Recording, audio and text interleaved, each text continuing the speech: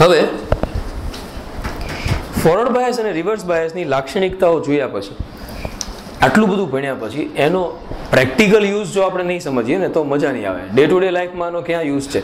એ જ્યાં સુધી આપણે ક્લિયર ન કરીએ, ત્યાં સુધી બધી વાત છે ને એ નકામી. મને કોઈ કહે નહીં કે આ વસ્તુને આમ ઉપયોગ કરવાની છે. તો આપણને ભણવાની મજા કાંઈ બહુ આવે નહીં. એટલે હવે આપણે પીએન જંકશન ડાયોડનો પહેલો, સૌથી વધારે જે જોવા મળે છે એ પહેલો પ્રેક્ટિકલ યુઝ જોઈએ. પીએન જંકશન ડાયોડ બહુ વાઇડલી યુઝ થતી વસ્તુ છે. હું તમને એવું કહી શકું. પણ હું કહું છું એનું બહુ મહત્વ નથી, કારણ કે તમારા માટે જ્યાં સુધી પરફેક્ટ હું એમ નહીં બતાવું કે આ જગ્યાએ યુઝ થાય. ત્યાં સુધી બહુ જામેબલ નથી. ઓકે ચલો આપણે આગળ વધીએ. PN junction diode mainly rectifier તરીકે વપરાય છે. રેક્ટિફાયર છે શું એ સમજીએ? વ્યવહારમાં છે ને આપણા મોટાભાગના ડિવાઇસીસ ડીસી ઉર્જાનો ઉપયોગ કરે છે. જસ્ટ ટેક એન એક્ઝામ્પલ ધારો કે મારું સાઉન્ડ સિસ્ટમ છે કે સપોઝ તમે મોબાઈલ યુઝ કરો છો લેપટોપ યુઝ કરો છો, તમારા ટેબ્લેટ્સ છે some of the television also ધારો ટેલિવિઝન એલઈડી છે કે એલસીડી છે, તો એ એ ડીસી ઊર્જા વાપરે છે. ઇવન તમારા ઘરમાં તમે નિરાતે બેઠીને વિચારજો, કેટલા ડિવાઇસ એવા છે કે જે ચાર્જેબલ છે? આ બધા ડીસી યુઝ કરે છે, કારણ કે એસીને તમે સ્ટોર કરી શકતા નથી. ડીસી છે ને એ પ્રમાણમાં મોંઘો છે. ડીસી ઊર્જા, તમને ખ્યાલ જ છે, ખાલી આટલો નાનો સેલ તમને દસ બાર રૂપિયાનો કે વીસ રૂપિયાનો મળે છે. તો નોર્મલ જે ડીસી ઊર્જા છે, એ પ્રમાણમાં મોંઘી છે.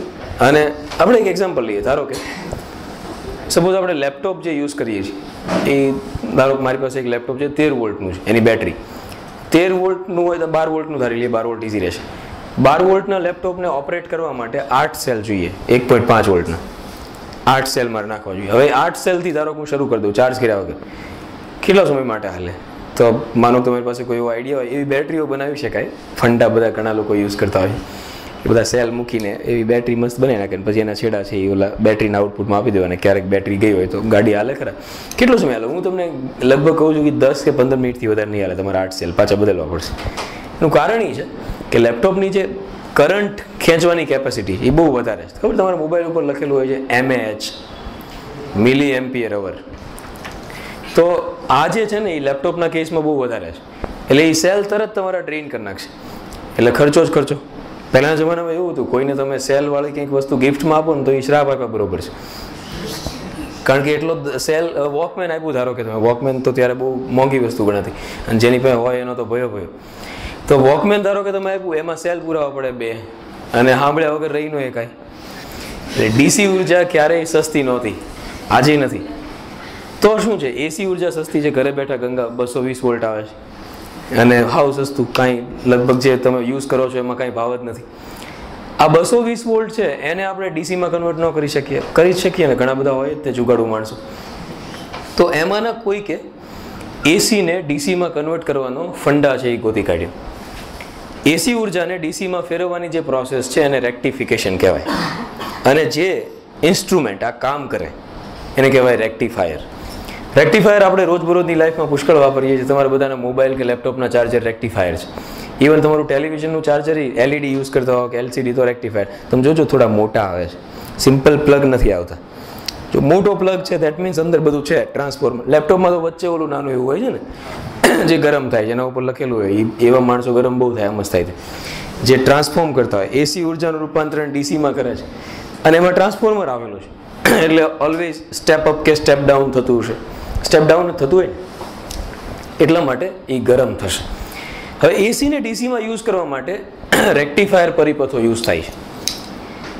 રેક્ટિફાયર પરિપથોમાં પીએન જંકશન ડાયોડ વપરાય છે. બે પ્રકારના રેક્ટિફાયર્સ ફેમસ છે. એક છે અર્ધ તરંગ, બીજું છે પૂર્ણ તરંગ હાફ વેવ અને ફૂલ વેવ એટલે હાફ પેન્ટ ફૂલ પેન્ટ તો બેનો આમ આમ જોવા જાવ તો એમાં, એનું જે આઉટપુટ મળે છે, એમાં જે આઈડિયા છે એ આવી જાય છે હાફ વેવ શું કામ છે ફૂલ વેવ આને સમજવા માટે આપણે એની સર્કિટો છે. એને છે ધ્યાનથી સમજવી પડશે. રેક્ટિફાયર્સ બજારમાં જે મળે છે, એ આ ટાઈપના હોય છે. અલગ અલગ ટાઈપના રેક્ટિફાયર્સ છે. અને તમારે બહુ સિમ્પલ રેક્ટિફાયર જોવું હોય તો કોઈ પણ ચાર્જર ઓપન કરો. ટ્રાન્સફોર્મર છે, એની સાથે રેક્ટિફાયર એમાં હોય જ.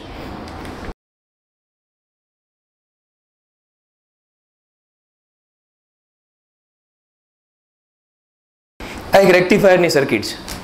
હવે મેં તમને પહેલાં કીધું હતું એમ, જો સર્કિટ ગોખવા જશો ને તો તમને તકલીફ પડશે. એટલે સમજવી એ જ અગત્યનું છે. કઈ વસ્તુ શું કામ આવેલી છે એ સમજો.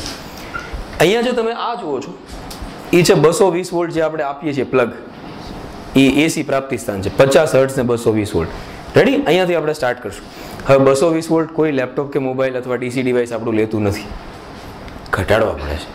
વોલ્ટેજને ઘટાડવાનું કામ કોણ કરશે? આપણે એના માટે કયો માણસ રાખીએ છીએ. ટ્રાન્સફોર્મર આપણે યુઝ કરીએ છીએ સ્ટેપ ડાઉન ટ્રાન્સફોર્મર તો આપણે આની સાથે પહેલાં સ્ટેપ ડાઉન જોડશું.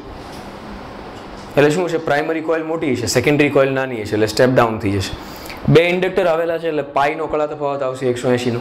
તમને ખ્યાલ છે એસી તમે ભણ્યા ત્યારે એવું જોયું હતું કે એક ઇન્ડક્ટર પાઈ બાય ટુનો ફેસ ડિફરન્સ ઊભો કરે.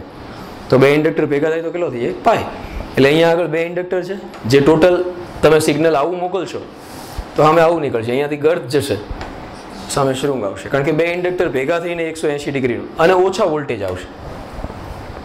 હવે પરિસ્થિતિ એવી છે, અત્યારે આગળ મેં એક પીએન જંકશન ડાયોડ જોડ્યો છે, જે રેક્ટિફાયર છે મારું, એસીને ડીસીમાં ફેરવા માટે. આઉટપુટમાં રહેશે ની વચ્ચે લેવો. મારે આ જે સિગ્નલ લીધું, એને પાછું બારી કાઢવું પડશે, બે છેડા વચ્ચે.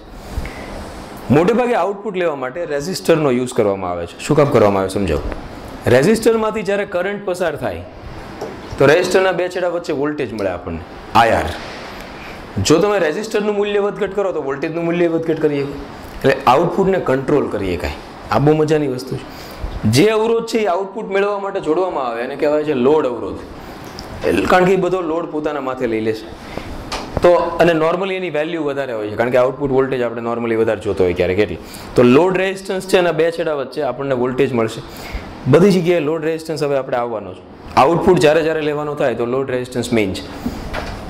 આ સર્કિટ છે. તમને ખ્યાલ આવવો જોઈએ કે એસી પ્રાપ્તિ સ્થાન શું કામ છે? ટ્રાન્સફોર્મર શું કામ છે? પીએન જંકશન ડાયોડ શું કામ છે? લોડ અવરોધ શું કામ છે? બરોબર? આ આખી અર્ધતરંગ રેક્ટિફાયરની સર્કિટ થઈ ગઈ. હવે પરિસ્થિતિ શું થાય છે? કઈ વસ્તુ બને છે જેને કારણે એસી ઉર્જાનું રૂપાંતરણ ડીસી ઉર્જામાં થાય છે? જો થાય છે એવું? એક દિવસ એવું બને છે કે અહીંયાથી વોલ્ટેજ જે જાય છે, એના જ વોલ્ટેજ અહીંયા આવે છે. ધારો કે આપણે આ સાયકલને વિચારીએ. આને લોકો આવી રીતે કહેતા હોય છે zero is less than omega T is less than or equal to pi આ પહેલી સાયકલ છે એ ઝીરોથી શરૂ થાય છે ક્યાં એન્ડ થાય છે? પાઈ સુધી. એને કહેવાય છે પ્રથમ અર્ધચક્ર. ખરેખર બે અર્ધચક્રો છે. તો પહેલો ભાગ તો પાઈ સુધી જ છે ને? ઝીરોથી સ્ટાર્ટ થાય ને ક્યાં સુધી જશે? પાઈ સુધી જશે. પાઈ બાય ટુ નહીં પાઈ સુધી જશે. તો આ પહેલી સાયકલ લઈએ. હવે આ સાયકલમાં, આ ચક્રમાં, આ ધારો કે ધન છે આ છેડો, આ ઋણ છે. તમને ખ્યાલ છે અલ્ટરનેટિંગ વોલ્ટેજમાં બધું ફ્લિપ ફ્લોપ થયા કરે પ્લસ માઇનસ થાય. તો આ છેડો ધન છે, આ ઋણ છે. આ પરિસ્થિતિમાં શું થશે કે જે પીએન જંકશન ડાયોડનો પી પ્રકારનો અર્ધવાહક છે, એનોડ, એ પ્લસ સાથે જોડાયેલો છે. અને એન પ્રકારનો જે અર્ધવાહક છે, એ માઇનસ સાથે કેવા પ્રકારનું જોડાણ કહેવાય? ફોરવર્ડ બાયસ તમે યાદ કરો ફોરવર્ડ બાયસનો અવરોધ ઓછો હોય. અવરોધ ઓછો હોય એટલે સરળતાથી પ્રવાહ મળે છે. અને મિલી એમ્પિયરના ક્રમનો સારો પ્રવાહ મળે છે, એકદમ મસ્ત. તો અહીંયાથી આપણને ફોરવર્ડ બાયસ થવાને કારણે પ્રવાહ મળવાનો શરૂ થશે. આ પ્રવાહ છે એ અહીંયાથી લોડમાંથી પાસ થશે. અને પ્લસ કહી દઈએ અને માઇનસ કહી દઈએ. તો લોડમાંથી પાસ થશે પ્રવાહ, આમ ત્યાં સુધી આવશે. લોડ રેઝિસ્ટન્સમાંથી પ્રવાહ પાસ થશે આઈએલ તો આના બે છેડા વચ્ચે વોલ્ટેજ મળશે. આઈએલ આરએલ બરોબર? એટલે ધારો કે આપણે એવું વિચારીએ કે જે તમે પહેલી હાફ સાયકલ આપી, પહેલી જે હાફ સાયકલ આપી એના એન્ડમાં તમે આટલા ભાગ માટે આઉટપુટમાં વોલ્ટેજ મળ્યા. આ ઇનપુટ છે. તો આઉટપુટમાં પણ શું થયું? વોલ્ટેજ મળ્યા. હવે શું થશે? જેવી રીતે જીવનમાં સુખ દુઃખ આવતા રહે છે, એવી રીતે વોલ્ટેજમાં પણ ઉતાર ચઢાવ આવતા રહે છે. એટલે અલ્ટિમેટલી એવું બનશે કે બીજી હાફ સાયકલ શરૂ થશે. તો હવે આ શરૂ થશે. દુઃખના દાડા. એટલે આ છેડો ઋણ થઈ જશે. આ થઈ જશે? ધન પણ એમાં હારી નહીં જવાનું. તો આ માઇનસ છે, એની સાથે પી પ્રકારનો અર્ધવાહક જોડાઈ જશે.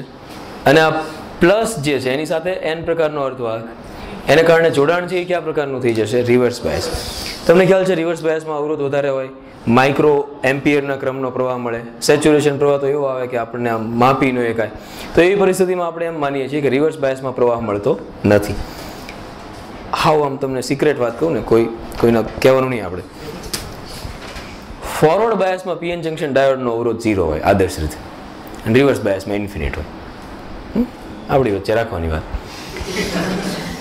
રિવર્સ બાયસમાં ઇન્ફિનિટ અવરોધ હોય, એટલે આમાંથી કોઈ પણ પ્રવાહ પસાર થાય. ઇન્ફિનિટ અવરોધમાંથી કોણ જાય? એટલે ઇન્ફિનિટ અવરોધમાંથી પ્રવાહ પસાર ન થાય. એને કારણે આ બાજુ કોઈ પ્રવાહ જ ન મળે.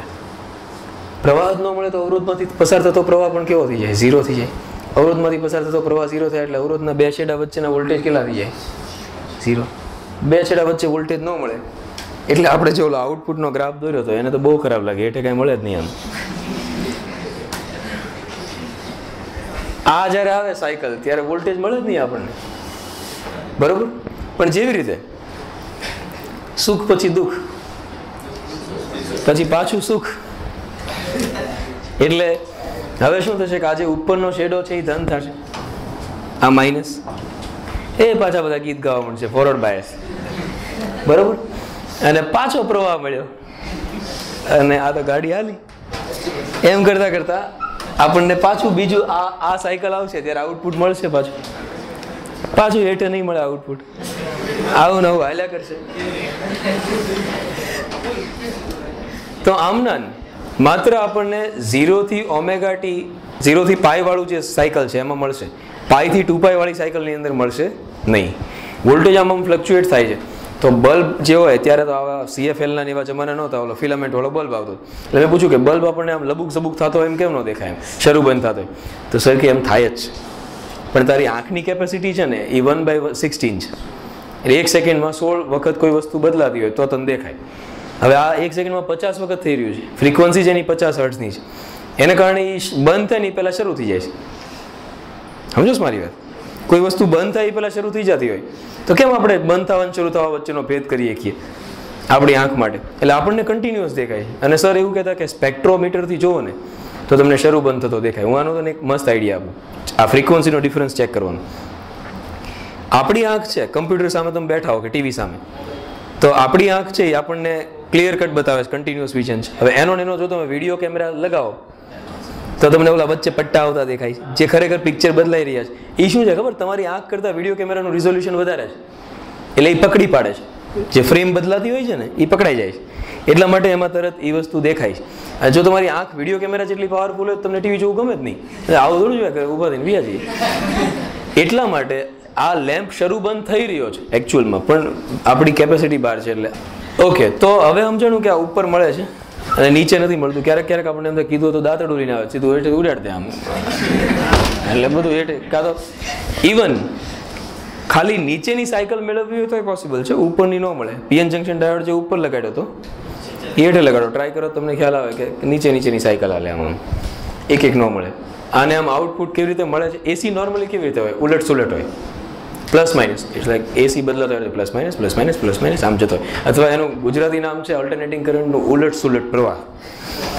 એનું લિટરલી આવું નામ છે. ઉલટ સુલટ પ્રવાહ એનું સાચું નામ છે. મૂળ નામ છે. પણ એને બહુ ગમ્યું નહીં એટલે એને બદલાઈ નાખ્યું. ઓલ્ટરનેટિંગ કરી નાખ્યું. આવું નામ કેવું ખરાબ લાગે? મમ્મી યાર, આવું નામ રખાય તમારે તો ઓલ્ટરનેટિંગ કરી નાખો. એટલે ઓલ્ટરનેટિંગ કરંટ તમે જો ગુજરાતીમાં બોલવા જાઓ તો આમ થતો હોય. ઉલટ સુલટ ઉલટ સુલટ ઉલટ સુલટ આમ હાલતો હોય. એની જગ્યાએ આપણને જે આઉટપુટ મળે છે, એ શું મળે છે? ઇટ્સ લાઈક ઓલટ ટોઈ ઓલટ ટોઈ ઓલટ ટોઈ ઓલટ એ છે વચ્ચે ટોઈ છે સ્ટ્રેટ લાઈન એ બહુ સ્પેસિફિક સિમ્બલ તમે ઓલું હિન્દી ફિલ્મોમાં જોતા હશો કે ચલો કાર્ડિયોગ્રાફ છે. કોઈ વ્યક્તિ છે એ જ્યારે એનું ડેથ થાય છે એ બતાવવાનો બેસ્ટ વે કાર્ડિયોગ્રાફ છે. એટલે હોસ્પિટલમાં કાર્ડિયોગ્રાફ ઉપર આમ કેમેરા રાખે. પછી આમ પહેલાં એમાં આમ હાલતું હોય. પછી ઓચિંતા કેમેરો આમ નજીક જતો હોય બેકગ્રાઉન્ડ મ્યુઝિક વધતું જાય અને છેલ્લે આમ. એટલે આપણે એમ થાય, એ ગયા.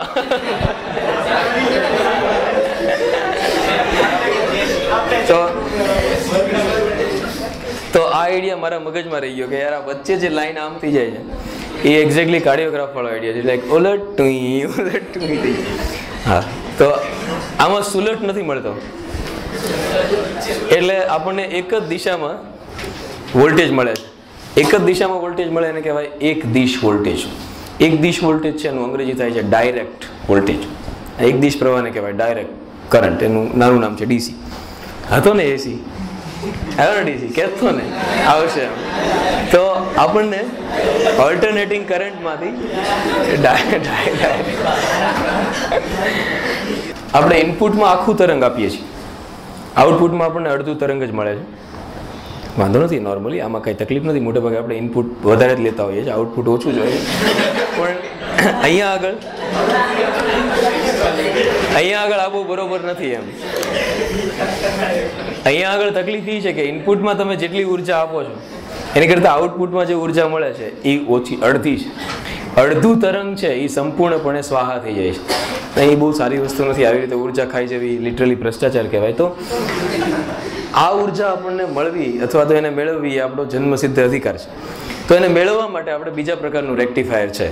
એ ભણવા માટે જશું અડધી ઊર્જા જે ખવાઈ જાય છે એ બહુ ગમતી વાત નથી. તો કોઈકને વિચાર આવ્યો કે ભાઈ આખું તરંગ મળે તો મજા આવે. આમાં તો કાંઈ બહુ જામી નહીં તમે વાત કરી પણ. માધવને મજા ન આવી આવો ડીસી તો હું રાખું જ નહીં. લેપટોપ અથવા મોબાઈલને પણ આવો ડીસી આપશું તો જામશે નહીં. એટલે આપણે કંઈક એનો રસ્તો કરશું. એ પહેલાં આપણે પૂર્ણ તરંગ રેક્ટિફાયર ભણીએ આજે અર્ધ તરંગ મળે છે. એ આ બહુ જામતી નથી, એટલે આપણે પૂર્ણ તરંગમાં વ્યા છીએ. પૂર્ણ તરંગ રેક્ટિફાયરનો પરિપથ થોડો કોમ્પ્લિકેટેડ છે. દેખાવમાં તમને લાગી જ રહ્યો છે. પણ છે ઇન્ટરેસ્ટિંગ જો. બહુ ઇઝીલી આવડી જાય એવું શરૂઆતનું બધું એમનાન છે. બસો વીસ વોલ્ટ, પચાસ હર્ટ્સનું એસી પ્રાપ્તિ સ્થાન. પ્રાઇમરી કોઇલ એમનાન સેકન્ડરી કોઇલ એમનાન ટ્રાન્સફોર્મરમાં નો ચેન્જ પણ મેં નાનો એવો ફેરફાર કર્યો છે.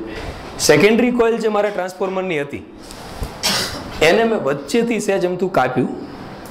એટલે કેવી રીતે કાપવાનું? ધારો સેકન્ડરી કોઇલ છે તો વાયર જ તે એટલે ઉપર પ્લાસ્ટિક હોય અને પકડથી આમ સહેજ તોડી નાખીશ. બીજો એક વાયર લઈશ, વાળો નહીં લો.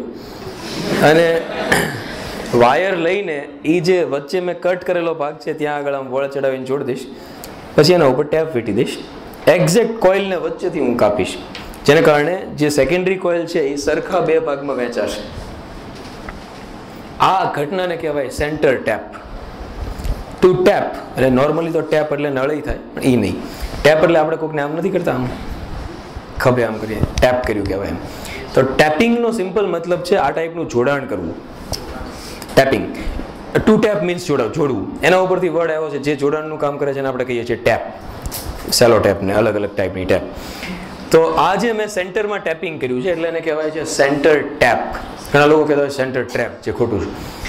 સેન્ટર ટેપ છે ટેપ મીન્સ વચ્ચેથી સેકન્ડરી કોઇલને તોડેલી છે. મોટા ભાગના રેક્ટિફાયર તમે તમારા ઘરે મોબાઈલનું ચાર્જર તોડશો, તો તમને ચોખ્ખું દેખાશે. એ સેન્ટર ટેપ જ હોય છે. એનું કારણ કેવી રીતે સમજી શકાય? તમે કાઢશો ને ટ્રાન્સફોર્મર એટલે નોર્મલ ટ્રાન્સફોર્મર કેવા હોય? ઉપર પ્રાઇમરી હોય, નીચે સેકન્ડરી કોઇલ હોય. તમે માર્ક કરજો પ્રાઇમરીમાં બે ઇનપુટ હોય. આ ભાઈ સેકન્ડરીમાં આઉટપુટ ત્રણ હોય. ત્રણ આઉટપુટ છે એનો મતલબ શું થઈ ગયો? સેન્ટર ટેપ છે. એટલે ચોખ્ખા આમ કાઢેલા જ હોય ત્રણ આખા ઓલા કનેક્શન તમને ખ્યાલ આવી જાય કે સેન્ટર ટેપ છે. તો આમાં સેન્ટર ટેપ કરીને મેં શું કર્યું છે, જુઓ. એક પીએન જંકશન ડાયોડ ઉપર જોડ્યો છે ડી વન એક જોડ્યો છે, નીચે. D two. પણ અલ્ટિમેટલી મેં બી એક જ જગ્યાએ કનેક્ટ કર્યા છે. જો આ જે વાયર છે, એને અહીંયાથી આમ લઈ ગયો છું. અને અહીંયાથી આમ લઈ જઈને તમે જો અહીંયાથી આ આને જમ્પ કરાવ્યો છે. સેન્ટર ટેપને મેં જમ્પ કરાવ્યો. જમ્પ એટલે ખ્યાલ આવે ને? કનેક્શન નથી આમ ઉપરથી. વ્યૂ જોવાનું આપણે. એની સાથે સંપર્કમાં નહીં આવવાનું. તો યસ આ આ જે ઉપરથી જમ્પ છે એટલે કનેક્શન નથી. આ વાયરને મેં અહીંયા જ જોડ્યો છે. આ બી સાથે જોડાયેલા છે જો અને એનો એક ટર્મિનલ લઈ લીધો આઉટપુટમાં બીજો ટર્મિનલ જે છે ને, એ સેન્ટર ટેપ છે. જો. એની વચ્ચે લોડ અવરોધ છે. એટલે આઉટપુટ હું આ બે છેડા વચ્ચે લઉં છું. હવે સર્કિટને સમજી લો. હું નથી માનતો બહુ તકલીફ થશે. જો એસી બસો વીસ વોલ્ટનું પછી ટ્રાન્સફોર્મર તો એમ છે. ટ્રાન્સફોર્મરમાં ચેન્જ શું કર્યો? બે જે આઉટપુટ હતા, એની જગ્યાએ કેટલા કરી નાખ્યા? ત્રણ. સેન્ટર ટેપ લીધું. સેન્ટર ટેપને હળંગ ખેંચી લેવાનું છે. અને ઓલા જે ઉપર નીચેના બે છેડા છે, એને જોડ દેવાનો. કરેક્ટ અને એમાંથી એક છેડો લેવાનો. ટોટલ ઓકે હવે આને કારણે શું થશે? એ સમજવું બહુ રસ પડે એવું છે. આપણે જે રીતે જોતા હતા એ રીતે અહીંયાથી અહીંયા જ્યારે આવશે સિગ્નલ, ત્યારે પહેલી અર્ધચક્ર માટે આ પ્લસ હશે, આ માઇનસ હશે. બરોબર છે? આ પ્લસ છે, આ માઇનસ છે, એટલે આ પ્લસ પી સાથે, માઇનસ એન સાથે. એટલે આ ફોરવર્ડ બાયસમાં આવ્યો ભાઈ? આ ભાઈ રિવર્સ બાયસમાં આવશે, જો. માઇનસ પી સાથે એટલે આનો અવરોધ ઇન્ફિનિટ આ રસ્તે કોઈ હાલે નહીં. કરંટ અહીંયાથી પસાર થાય, કારણ કે આ ફોરવર્ડ બાયસ છે. એટલે કરંટ કેવી રીતે જશે? જો આપણે ધારો કે અહીંયાથી નીકળવાનું ધારીએ, તો એસ વનથી કરંટ નીકળ્યો ડી વન ડાયોડ વનમાંથી પસાર થશે, અને એમને જાતો જાતો એ એ છેડેથી લોડ રેઝિસ્ટન્સમાંથી પાસ થશે બી છેડા સુધી આવશે એથી બી અને પ્લસ કહીએ અને માઇનસ કહીએ. તો એથી બી સુધી આવશે, ત્યાંથી આમ આવશે, એમ કરીને સેન્ટર ટેપમાં આવશે સેન્ટર ટેપમાંથી કોઇલમાંથી પાછો એસ વન સુધી આવશે. લૂપ પૂરું થઈ ગયું? તો આના બે છેડા વચ્ચે આઉટપુટ મળ્યો આપણને. કરંટ અહીંયાથી પાસ થયો. આઈએલ કઈ દિશામાં પાસ થયો? એ થી બી એ થી બી ને આપણે પોઝિટિવ ટુ નેગેટિવ કહીએ. આ એ થી બી ને બી થી એનો શું મતલબ છે? ખબર? એ થી બી પસાર થાય ને તો આઉટપુટ આમ મળે. એમ આપણે ધાર્યું છે. તો બી થી એ પસાર થાય તો આઉટપુટ આમ મળે. તો એ થી બી પસાર થાય છે. એટલે પહેલા કેસમાં મને આઉટપુટ વોલ્ટેજ છે એ મળશે. અને કઈ રીતે મળશે એ હું તમને બતાવું છું. આ રીતે મળશે. મારો કા તમારી ઇનપુટ સાયકલ હતી. કરેક્ટ બરોબર. તમને અહીંયા આગળ જે મળશે સપોઝ આ ઉલટું છે માનો તમે આ તમારી ઇનપુટ સાયકલ છે. આના માટે એક્ઝેક્ટ તમને અહીંયા આઉટપુટ મળ્યું રેડી હવે હવે આ સાયકલ આવી, જુઓ તો. હવે આ પરિસ્થિતિમાં શું થશે? આનાથી ઉલટું.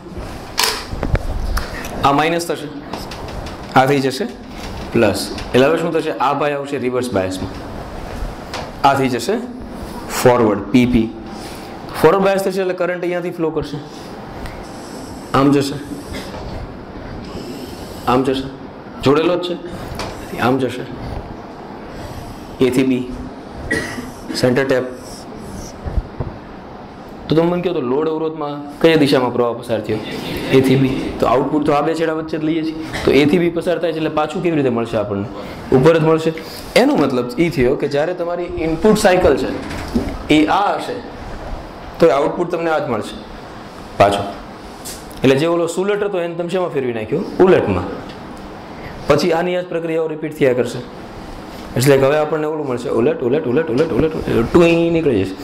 તો અહીંયા આપણને એક જ ડાયરેક્શનમાં કોન્સ્ટન્ટ વોલ્ટેજ મળશે, જેના કારણે એને કહેવાય એક દિશ વોલ્ટેજ અથવા એને કહેવાય ડાયરેક્ટ વોલ્ટેજ પણ આ મજા આવે એવું તો નથી જ હું સમજી શકું છું, તમને બહુ જામતું નથી. એટલે આમાં ઓલામાં શું થતું કે આપણે આમ પછી પાછા આમ સીધે આમાં તો એના કરતાં ખરાબ વસ્તુ તો છે. ઇટ્સ લાઈક તો આ બરોબર એસી ડીસી નથી, આવો ન ચાલે. તો આમાં કંઈક આપણે ફેરફાર કરવો પડશે. આ છે શું એ હું તમને સમજાવું? આ આ વસ્તુ તમને જે મળી છે, એ ખરેખર છે શું? એ એ સમજવામાં તમને રસ પડે એવું છે. ચાલો, જેમાં તમને રસ પડે એવું છે એ સમજાવું છું. તમે સેકન્ડ ચેપ્ટરની અંદર એક દાખલો ભણતા હતા, જે દાખલો કંઈક આમ હતો I is equal to nine plus twelve sine omega યાદ આવે? છે દાખલો એવો હતો, હું આખ- રકમ યાદ કરું છું. બે પ્રવાહો, એક ડીસી, એક એસી. કોઈ એક પોઈન્ટ પાસે ભેગા થાય છે, તો એનું સમીકરણ લખો અને એનું આરએમએસ શોધો. આ દાખલો હતો. અને આપણે ઇક્વેશન આ લખતા હતા. હવે તમે જુઓ, આમાં એક ભાગ ડીસી છે. આને જો તમે વાસ્તવમાં ગ્રાફમાં ફેરવો, તો એ આવો મળે. આ જે છે ને એ શું છે ખબર? એસી અને ડીસીનું મિશ્રણ છે. એટલે ડાયરેક્ટ કરંટ અને અલ્ટરનેટિંગ કરંટ છે, એ એકબીજામાં મિક્સ થયેલો છે. એટલા માટે આ પૂરેપૂરો ડાયરેક્ટ નથી. આને કહેવામાં આવે છે પલ્સેટિંગ ડીસી પલ્સેટિંગ ડીસી એટલે કોન્સ્ટન્ટ ન હોય, ધબકતો હોય. હોય પ્લસ સાઈડ જ તે, કે માઇનસ સાઈડ જ તે. એટલે પ્લસ માઇનસ ન થાય, એટલે અલ્ટરનેટિંગ ન કહેવાય.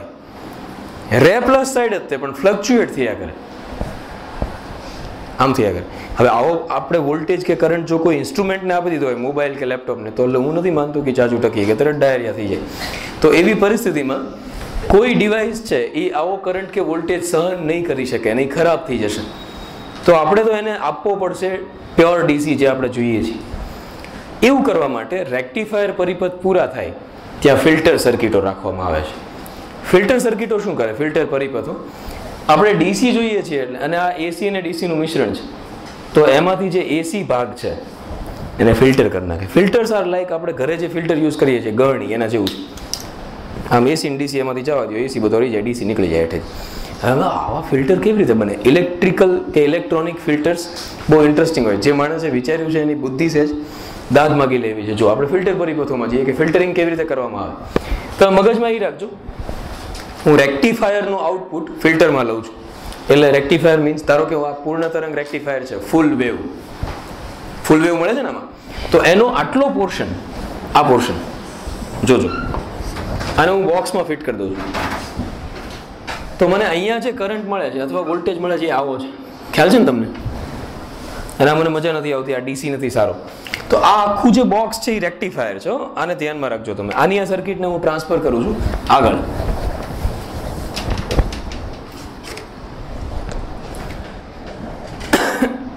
બોક્સ રેક્ટિફાયર હવે આની વચ્ચે તમે આપો છો બસો વીસ વોલ્ટનો એસી અહીંયા. હવે અહીંયા તમને જે મળે છે એ આ છે. આઉટપુટમાં યાદ આવ્યું? લોડ અવરોધ તમારો આગળ છે રસ્તામાં. પણ મેં એક આઈડિયા શું કર્યો? કે વચ્ચે જોડી દીધું એક કેપેસિટર અને આ આઈડિયા બહુ મસ્ત છે. એને કરી દીધું ગ્રાઉન્ડ હવે આ જે પ્રવાહ આવે છે ટોટલ પ્રવાહ એ બે અલગ અલગ પ્રવાહોનું મિશ્રણ છે કે નહીં? યસ ઓર નો બરોબર છે ને? એસી પ્લસ ડીસી છે. હવે જ્યારે આ પ્રવાહ અહીંયા પહોંચશે, એની પાસે બે રસ્તા છે. પ્રવાહનું વિભાજન. ખરેખર વિચારવા જાઓ તો બે પ્રવાહ પાસે બે રસ્તા નથી. તમને ખ્યાલ છે? ડીસી છે એ ક્યારેય કેપેસિટરમાંથી પસાર ન થાય? ખ્યાલ? ઓકે તમે થર્ડ સેમમાં જે બ્રાન્ચમાં કેપેસિટર આવેલું હોય ને, ત્યાં પ્રવાહ દોરતાય નહોતા એ બાજુ જોતાય નહોતા એમ કે કેપેસિટર ચાવા દે.